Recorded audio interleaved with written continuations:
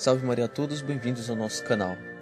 Falece um ativista pró-vida que salvou mais de 22 mil crianças do aborto.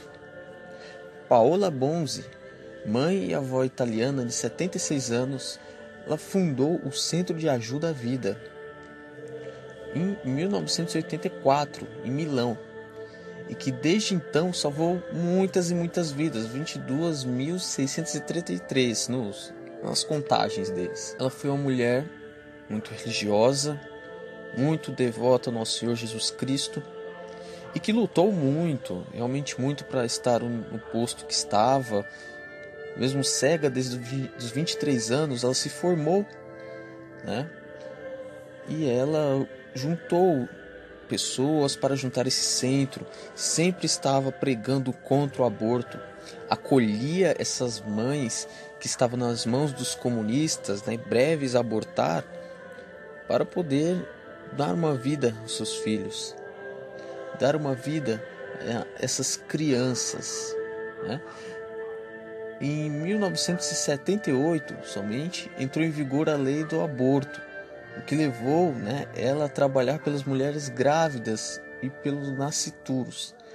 Foi assim que surgiu o primeiro centro de ajuda à vida, né, em 1984.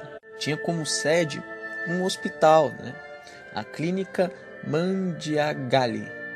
E depois vieram outros. Graças a Deus ela conseguiu expandir isso. É muito bom vermos essas iniciativas pela vida, feitas por leigos. Paola com certeza vai influenciar muitas mulheres e já se não já influenciou bastante, né? Os leigos precisam de cuidar da vida também, além da defesa da Santa Igreja Católica. Né? Nas redes sociais, numa nota em ocasião do falecimento, o presidente, a presidente do Centro de Ajuda à Vida, Marina Cassini, definiu Paula Bonzi como uma mulher corajosa, cortês, empreendedora, doce, tenaz, apaixonada e sempre pronta para ela mesma acolher as mães tentadas pelo aborto por causa de uma gravidez difícil e inesperada. Fazia entrar em uma dimensão calorosa e humana, feita de escuta, empatia, confiança, esperança, apoio, acolhida, as mulheres a quem o frio da indiferença e a cultura envenenada empurravam para renunciar a dar à luz o seu próprio filho. Também ressaltou que Paula Bonzi repetia sempre que as crianças nasciam graças às suas mães, porque no coração da mulher reside o sim da vida. Paola ela merece ser lembrada sempre.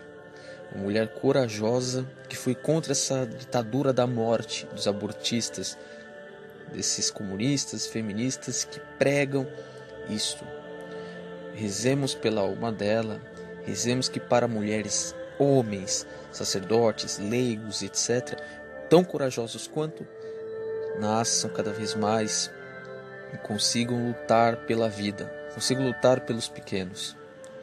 Paola jamais será esquecida. Paola será sempre uma mãe, um exemplo para todos os católicos leigos que lutam pela vida, para todos que são agredidos, ameaçados, torturados, difamados por somente defender a vida e por somente defender a nosso Senhor Jesus Cristo. Que Deus abençoe a todos. Meu fraterno abraço e meu luto pela Paula Bonzi. Que Deus conforte sua família. São Pio X, ora pro nobis. Maria sempre.